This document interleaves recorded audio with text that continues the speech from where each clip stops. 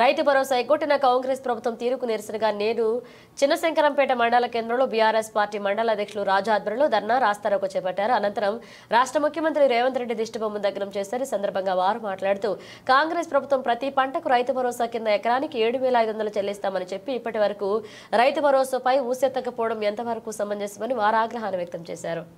Okay. జై తెలంగాణ. పెద్దలు ఒక సామెత చెప్పేది. ఇంతకుముందు ఎద్దు ఎద్దు వేసిన ఎద్దు వేసిన వ్యవసాయం రైతు వేసిన రాజ్యం బాగుపడదని చెప్పేసి ఆ విధంగానే రేవంత్ రెడ్డి గారు రాజ్యం నడుస్తూ ఉంది. ఇంతకుముందు కేసీఆర్ గారు ఇచ్చినటువంటి రైతు రుణ రైతు బంధును బంధు పెట్టి ఏదో మీనమేషాలు పెట్టుకుంటూ ఇప్పటి వరకు ఇప్పుడు నిన్న నిన్న నిన్న సాగు కబురు సలహా చెప్పడం జరిగింది. వర్షాకాలం రైతు బంధు మేము వేయము. ఇప్పుడు వచ్చేదానికి ఇది యాసంగికి అది కూడా ఇది సబ్ కమిటీ వేసాం సబ్ కమిటీ నివేదిక వచ్చినాక చెప్పి చెప్తామని చెప్పి చెప్పడం జరిగింది. ఖచ్చితంగా ఈ రైతు వ్యతిరేక విధానాలు నశించాలి. రైతు రైతుకు చాలా మోసం చేస్తున్నాడు.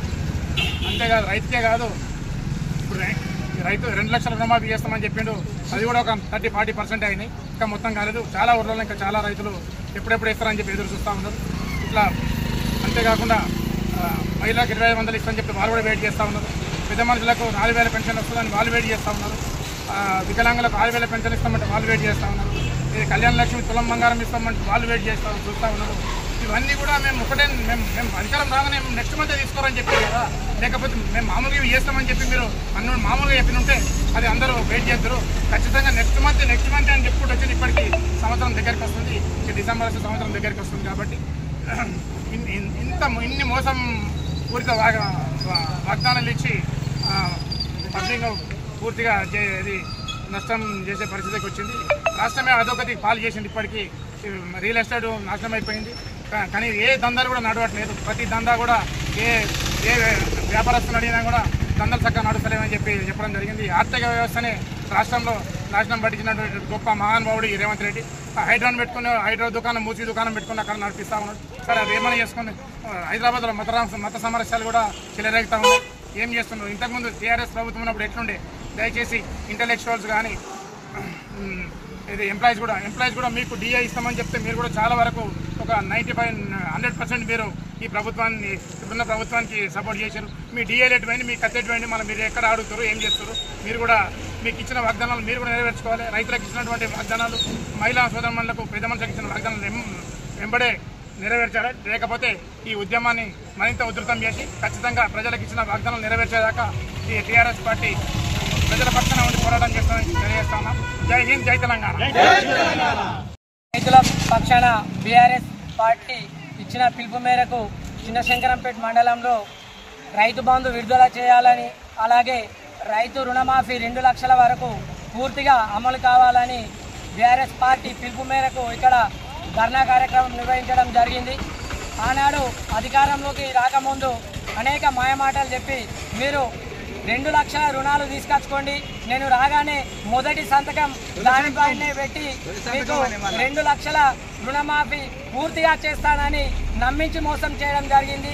అలాగే రైతు భరోసా పథకం కింద ఏడు వేల ఐదు వందల రూపాయలు ఒక ఎకరా ఒక ఎకరానికి ఇస్తానని చెప్పి ఇప్పటికీ దాదాపుగా పది నెలలు గడుస్తున్న ఒక్క రూపాయి కూడా ఇవ్వలేదు.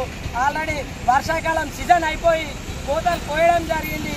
ధాన్యం కూడా ఈరోజు రైతులు ఎండబెడతా ఉన్నారు. ఇప్పటి వరకు కూడా రైతు బంధు నిధులు విడుదల చేయలే చేయలేకపోతున్నావు. మీ అసమర్థత పాలన వల్ల ఈరోజు ప్రజలు అనేకమైనటువంటి ఇబ్బందులు పడుతున్నారు.